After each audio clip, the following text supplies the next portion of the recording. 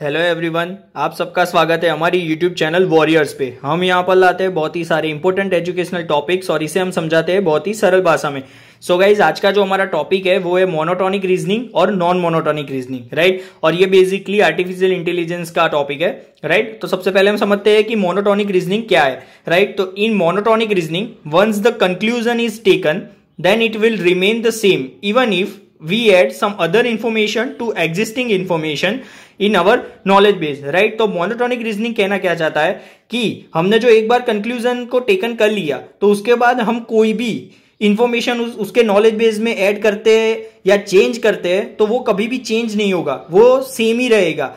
वो जैसा का, जो, वो जैसा है, वैसा ही रहेगा राइट मोनोटॉनिक रीजनिंग क्या है कि उसका यूज़ कभी भी रियल टाइम सिस्टम के लिए नहीं हो सकता राइट अब मैं आपको इसको एक एग्ज़ाम्पल के थ्रू समझाता हूँ। ये जो हमने डेफिनेशन हमने जो पढ़ी, उसको मैं आपको एक एग्ज़ाम्पल के थ्रू समझाता हूँ कि समझिए कि earth revolve around the sun right ये हम सबको पता है कि अर्थ क्या है? सन के अराउंड वो घूमती है राइट तो ये क्या है? एक फैक्ट है और वो ट्रू है राइट अब उसके नॉलेज बेस के अंदर हम जितनी भी इंफॉर्मेशन हम स्टोर कर ले, हम हम सब ये बोलते हैं कि भाई चलो कि अर्थ राउंड नहीं है, जो मून है वो अर्थ के अराउंड घूमता है। हम किसी भी तरह का और जितना भी इंफॉर्मेशन है वो स्टोर कर ले अपने नॉलेज बेस में।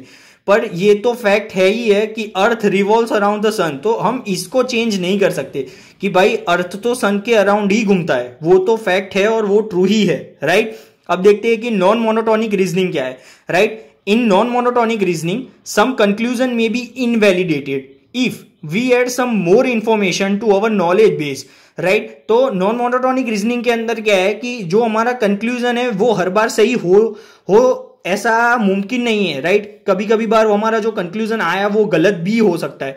सो so, इसके अंदर जो हम जो ए, कोई इंफॉर्मेशन हम उसको ऐड करते हैं उसके नॉलेज बेस के अंदर तो वो ऐसा नहीं है कि वो सही होगा जो हमारा कंक्लूजन आया वो राइट अब देखते हैं कि ये क्या करता है? नॉन मोनोटॉनिक रीजनिंग क्या करता है?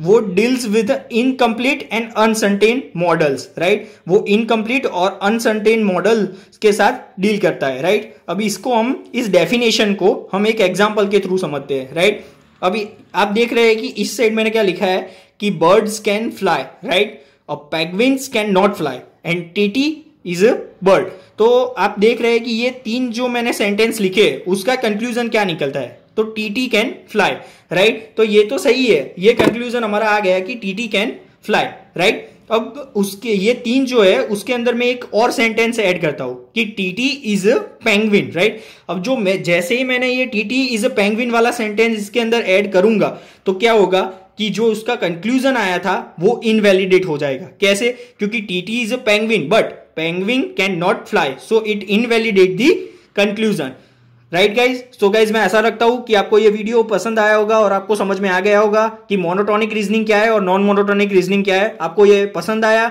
तो इसे लाइक कीजिए। कुछ बहुत ज़्यादा पसंद आया तो इसे शेयर कीजिए। और बहुत बहुत ज़्यादा पसंद आया तो इसे सब्सक्राइब ज़रूर कीजिए। Thank you guys